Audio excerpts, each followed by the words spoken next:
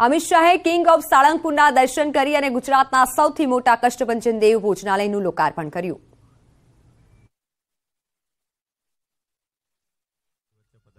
હનુમાન જયંતીના પાવન પર્વ પર કેન્દ્રીય ગૃહમંત્રી અમિત શાહે સાળંગપુરમાં વિરાટ ભોજનાલયનું લોકાર્પણ કર્યું.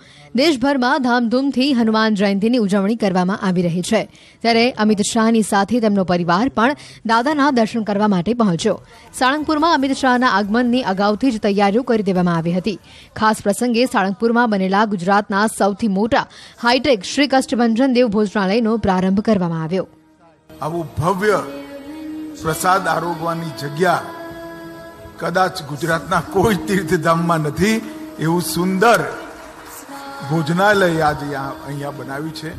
હું ખરેખર ટ્રસ્ટના સૌ ટ્રસ્ટીઓને હૃદયપૂર્વક અભિનંદન આપું છું. આ અગાઉ અમિત શાહ પરિવાર સાથે વિશાળ હનુમાનજીની ચોપન ફૂટ ઊંચી મૂર્તિના દર્શન કરવા માટે પહોંચ્યા. આ દરમિયાન શાહે દાદાની પૂજા અર્ચના પણ કરી હતી. આ પછી કેન્દ્રીય ગૃહમંત્રીએ ગુજરાતના સૌથી વિશાળ હાઈટેક કષ્ટભંજન દેવ ભોજનાલયનું ઉદઘાટન પણ કરાવ્યું. સાળંગપુર ધામમાં છેલ્લા સો વર્ષથી અહીંયા આવતા ભક્તોને ભોજન પ્રસાદીનો લાભ મળી રહે છે.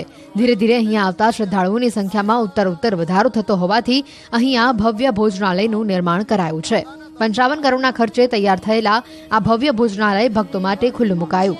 આ ભોજનાલયમાં એક સાથે ચાર હજાર ભક્તો જમી શકે તેવી વ્યવસ્થા છે.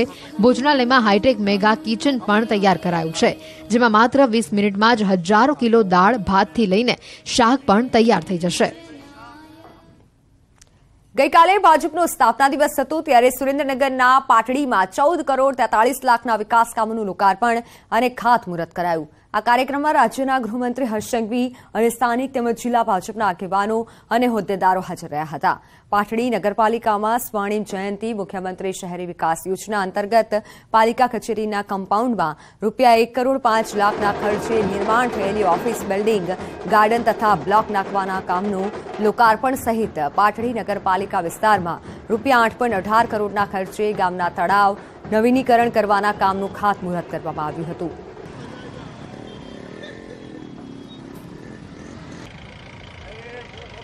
પાટડી નગરપાલિકા દ્વારા પાટડી નગરપાલિકાનું નામકરણ, લોકાર્પણ અને ખાતમુહૂર્તના કાર્ય- કાર્યોમાં ગુજરાતના યુવા, નીડર અને ઉત્સાહી ગૃહમંત્રી શ્રી હર્ષભાઈ સંઘવી દ્વારા ચૌદ કરોડ બોતેર લાખના અને અલગ અલગ કામોનો ખાતમુહૂર્ત અને લોકાર્પણ કરવામાં આવ્યું.